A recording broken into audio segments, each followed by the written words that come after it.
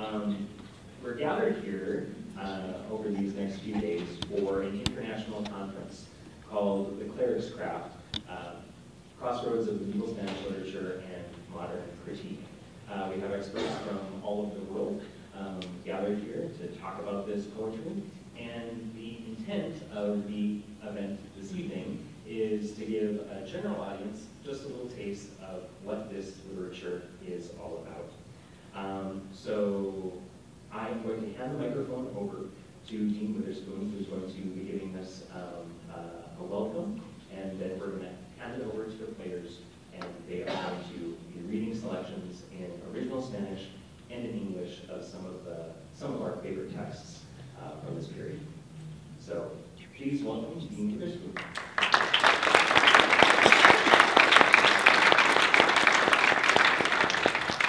Thank you.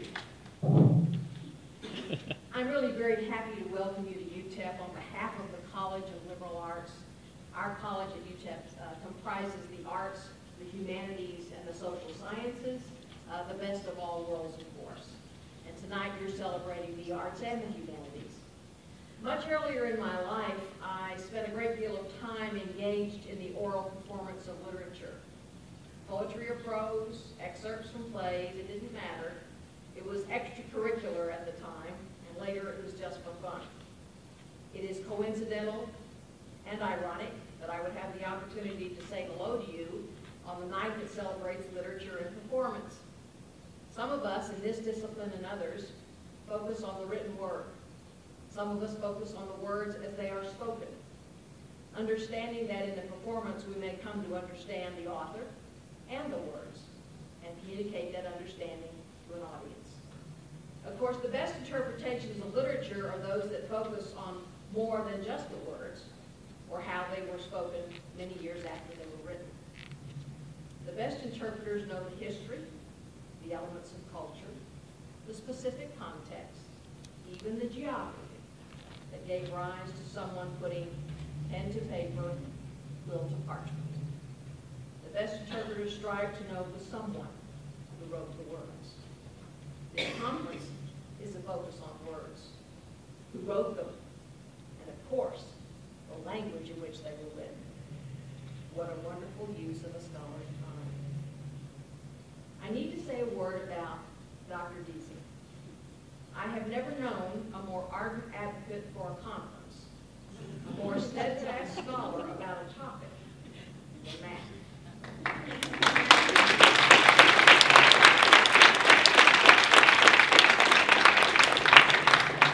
He took his case on the importance of this conference to me, the provost, the president, uh, perhaps the governor, I don't, I don't know. But it worked, Matthew, and they are here. Well, we're honored that a conference on the cleric's craft is being offered and hosted by UTEP. We are happy that each of you is here to spend a few days with us, and if there's anything we in the dean's office can do to make your visit happier or more successful, please let us know. I admire the work in which you are engaged. And to tell you the truth, as you might have guessed by now, I envy you. Welcome. And thank you.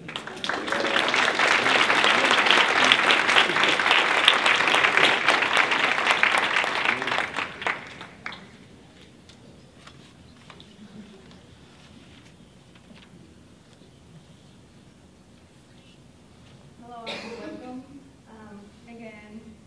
Um, I am here, I'm Clara Pascual, one of the uh, co-organizers of the conference uh, with uh, Matthew Desing uh, and Robbie Powers.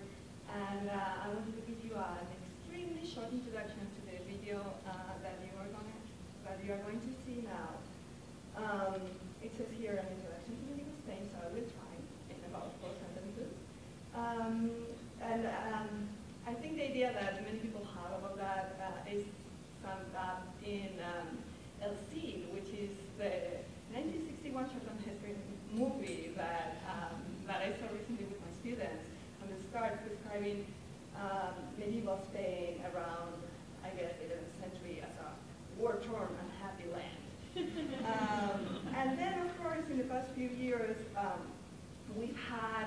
all these um, um all these conversation about um, convivencia or coexistence and the another cultures and all that. And as uh, is usually the case, uh, the Jews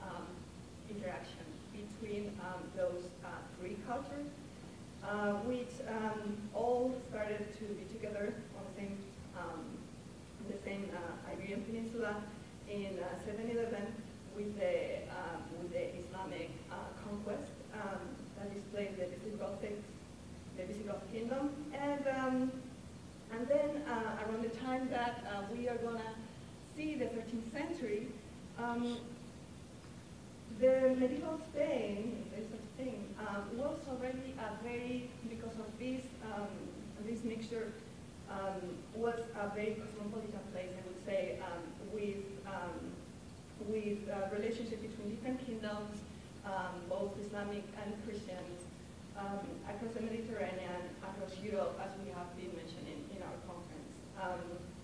so the 13th century, as you will see, is a moment of much uh, intellectual and literary, uh, cultural, political excitement. And uh, this is what the video will tell you about. Thank you.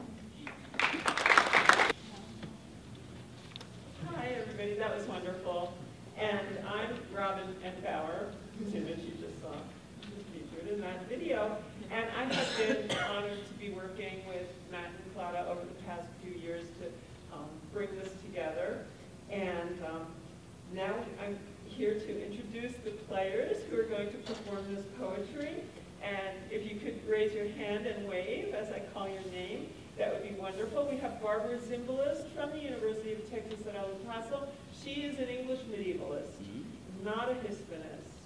Uh, Clara Pascual Argente from Rhodes College, whom you already know. Uh, we also have Emily Francomano from Georgetown University, uh, Gregory Kaplan over there, there he is, uh, from the University of Tennessee at Knoxville, Kirsten Nigro, also from University of Texas at El Paso here, Martha Daas from Old Dominion University, Matthew Desing, our hero, from here, Pablo Ancos from the University of Wisconsin-Madison, and Simon Pinet from uh, Cornell University. And um, they will be reading in Spanish and in English selections from um, iconic texts of the Mester de Clerecía. So the first text we're going to hear about is um, the Libro de Alexandre, in the Middle Ages, many versions of the life and legends of Alexander the Great circulated throughout Europe and the Mediterranean world. The Mester de Clerecía version of the tale, called the Libro de Alexandre, follows many of the other versions of the tale in combining realistic episodes of the life of this historic figure with fanciful episodes and moralizing elements. The episode included in our reading tonight is one that occurs toward the end of the long narrative poem after Alexander the Great has conquered nearly all of the known world. After vanquishing the territories of other kings and rulers, Alexander turns to conquering the natural world. In this scene, Alexander descends into the depths of the sea in a contraption that resembles a submarine. It is important to remember that the poem was written hundreds of years before actual submarines were invented. Andaba buen rey en su casa encerrada, se veía gran corazón en angosta posada, veía toda la mar de pescados poblada, no es bestia en el cielo que no fuese trovada. No vive en el mundo ninguna criatura que no cría la mar semejante figura. Traen enemidades entre sí por, por natura, los fuertes a los flacos danles mala aventura. Entonces, entonces vio el rey en aquellas andadas cómo echan los unos a los otros celadas. Dicen que en de fueran presas esos sacadas, fueron de Santa acá por el cielo usadas. Tanto se acogían al rey los pescados, como si los hubiese por armas subyugados. Venían pues para Cuba, todos cabez colgados, todos ante como mochos mollados.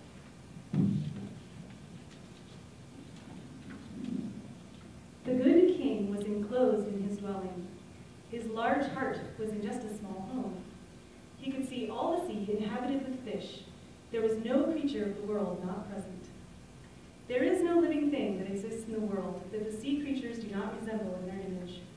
There are hostilities among them by their nature, and the strong bring ill fortune to the weak. Then the king saw, while he was on those travels, how some of them were laying traps for others. He said that thence had come tricks and deceptions that were used thereafter in the world of men. So much did the fish gather around the king, it was as if he had subdued them through arms. They came to the container and all had their heads bowed, all trembling before him like children who were wed.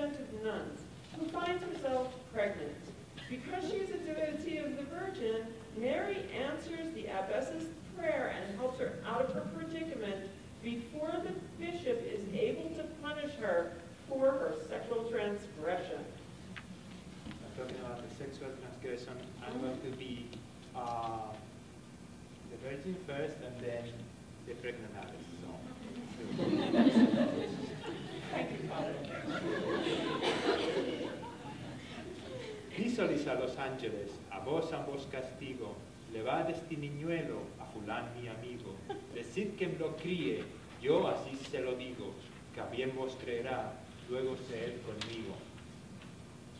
Moviéronse los ángeles a muy gran ligereza, recaptaron la cosa sin ninguna pereza, logóla al ermitaño más que con gran riqueza, que de verdad bien era una rica nobleza. Recudió la parida, fichose santiguada, a Lizie, valme gloriosa, reina coro- coronada, si de esto, si es esto verdad, o si soy engañada, señora Beneita, bala esta errada, palpóse con sus manos cuando fue recordada, por ventre, por costados, ah, e por cada illada, eso ya más complicado. Trobó su vientre yacio, la cinta muy delgada, como mujer que es de tal cosa librada.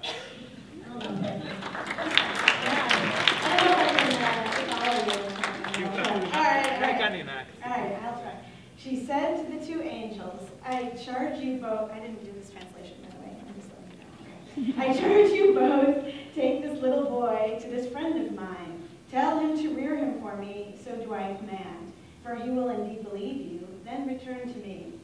The two angels moved with great swiftness and executed the order without delay. It pleased the hermit more than great riches, because truly it was a great honor. The new mother, La Parida, regained consciousness, crossed herself, and said, Help me, glorious one, crowned queen. Is this true, or am I deceived? Blessed lady, help this sinner. When she came to, she touched herself with her hands on her stomach, her ribs, and on each side. She found her belly empty, her waist very thin, as a woman who is freed from such a thing.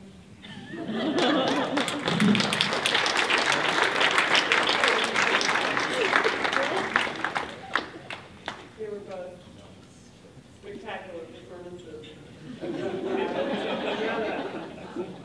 and the Libro de Apollonio was another medieval bestseller. It is, it is a tale that exists in many European languages of the Middle Ages and tells the story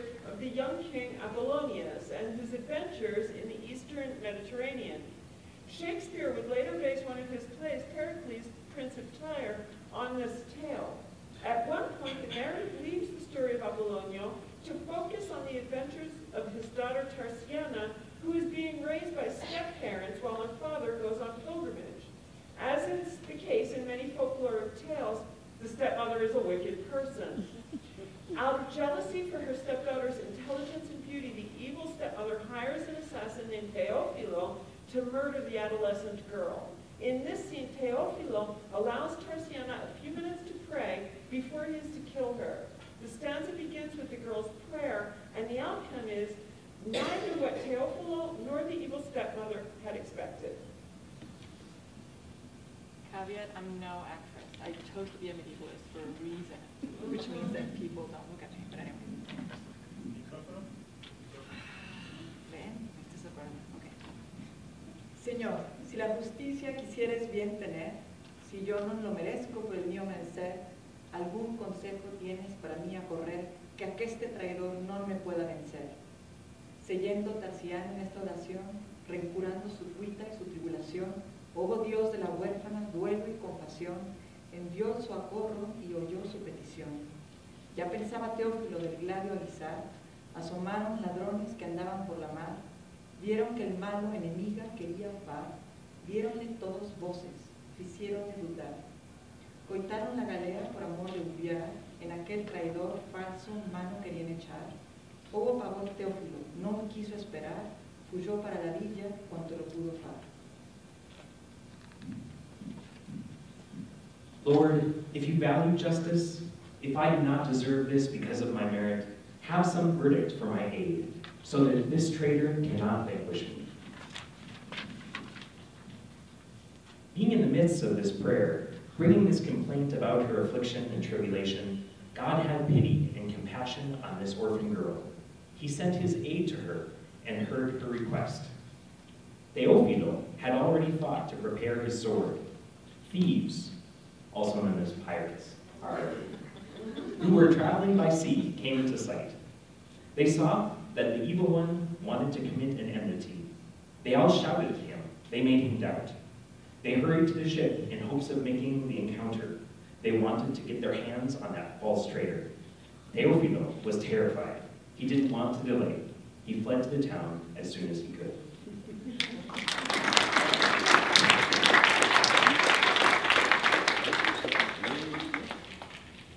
That was a close call for Tarsiana, and I think uh, Professor Pinet made us all feel it.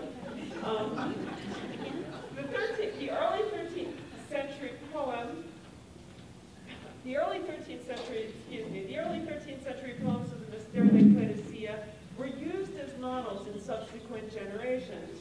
Some of the later authors who used the same poetic form were Christians, and others were of different faiths. Some communities of Jews and Muslims living in the Iberian Peninsula, for example, produced text written, texts written in Spanish but written out in Hebrew or Arabic characters. And these writings are known as aljamiado literature. Such is the case of the 14th century poem, Poema de Yusuf. The poem tells the story of the patriarch Joseph, but not that found in Hebrews by his jealous brothers. The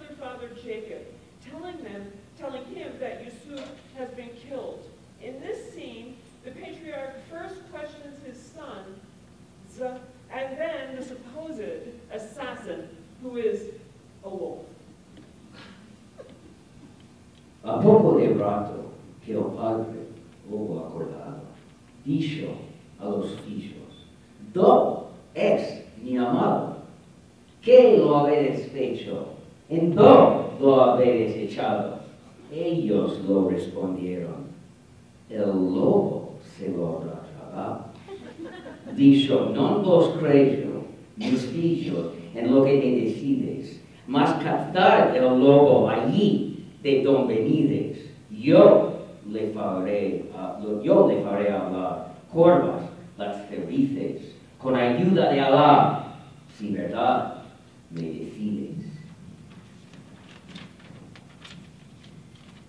Fuéronse a captar el lobo con falsía muy mala, diciendo que había hecho muerte tan granada.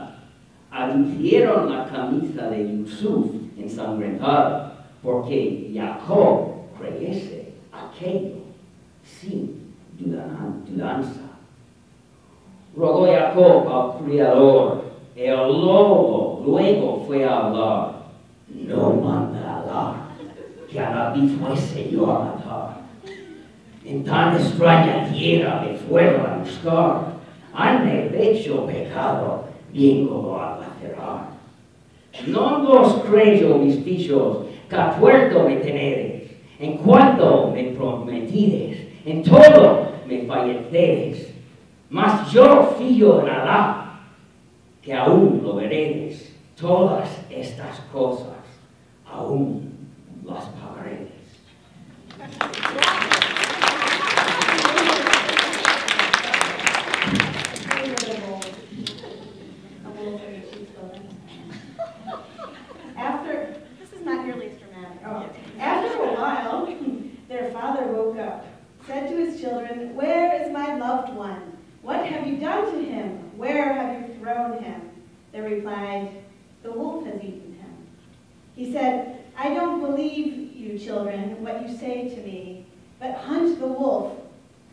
came, and I will make him talk. I will humble him. With Allah's help, he will tell me the truth. They went to hunt the wolf. With great dishonesty, they said he was responsible for this terrible death. They brought back Yusuf's bloody shirt so that Jacob would believe them without doubt. Jacob begged the Creator, and the wolf immediately spoke. No. Allah, Allah does not command that I kill a prophet. In such a strange land they came to fetch me. They sinned against me, and I've come to make them suffer. I don't believe you, my sons, because you did me wrong. You have failed me in everything that you promised me. But I trust Allah that you shall yet see all these things you shall yet pay for.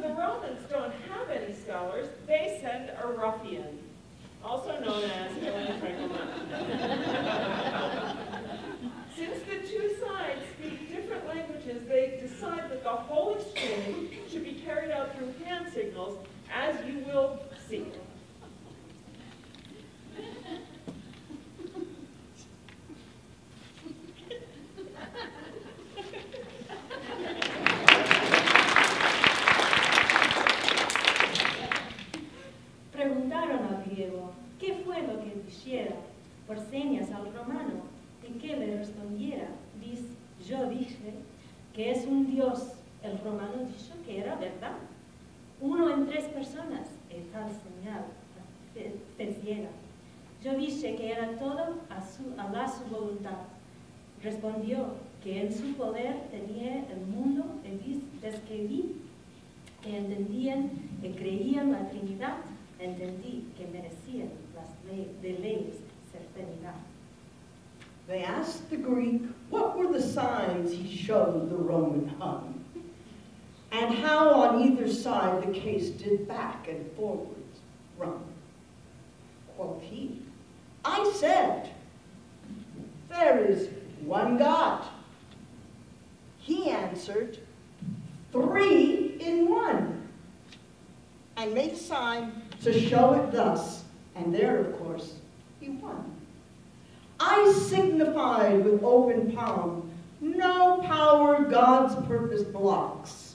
He said with earnest, doubled fist, God will be the world unlocks. From which I judge the Romans, all in faith, are orthodox. How well, we may entail them all our intellectual stocks. Preguntaron cuál fuera su antojo. Díxome que con su dedo me quebrantaría el ojo. Esto ome gran pesar e tome gran enojo. El respondíle con saña, con ira y con cordoso, que yo le que- quebrantaría ante todas las gentes con dos dedos los ojos y con el pulgar los dientes. Díjome luego, após esto me parase dientes, que me daría gran palmada en los oídos retenientes. Yo le respondí que le daría un- una tal puñada que en tiempo de su vida nunca la vies vengada. Desde que vio la, la pelea tenía mal aparejada, déjose de amenazar, do, no se lo ofrecían nada. They quizzed the rake to see if aught this version might belie. Said he, he held one finger up to mean he gouged me eye. And gents, to think a runt like that would have the crust to try to dim me lamp made me so mad I showed the little guy three fingers, meaning two of them would gouge his goggles out, while with me thumb I'd bust his teeth. But after the lout held up his palm to let me know he'd give me ears a clout and set me head to buzz until I lost this monkey bout, I showed him then how with me fist I'd suck him in a total crack. The longest day he ever lived, he wouldn't pay me back. And you can see, he realized his chances were too black because he quit, just like a Greek and all that lousy pack.